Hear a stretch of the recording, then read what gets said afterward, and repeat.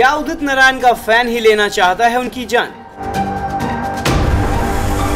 जी हाँ बिहार के रहने वाले और बॉलीवुड में अपनी आवाज़ से करोड़ों लोगों को दीवाना बनाने वाले सिंगर उदित नारायण को जान से मारने की धमकी मिली है।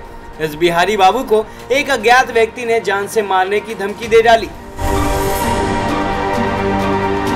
दरअसल बॉलीवुड के शानदार प्लेबैक सिंगर उदित नारायण ने मुंबई पुलिस को उस शख्स से मिली धमकी के मामले की शिकायत दर्ज की है।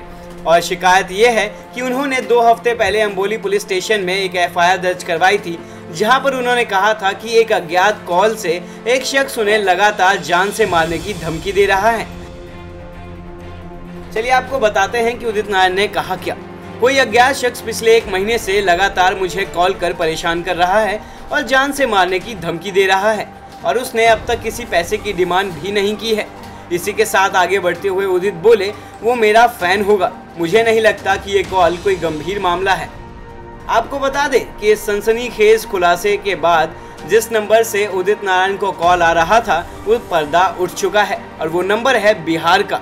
जी हाँ बिहार का नंबर लोकेट हुआ है और एक टीम को उस शख्स को पकड़ने के लिए वहाँ भेज भी दिया गया है।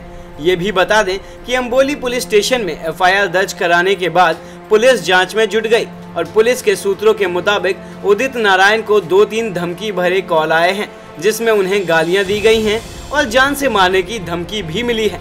शिकायत के बाद भी कॉलर के लगातार कॉल आने से परेशान Udit Narayan anti extortion call में भी शिकायत दर्ज की है। ये मामला अम्बोली पुलिस स्टेशन और आईसी के बीच में चल रहा है। पूर्वांचल लाइव की रिपोर्ट।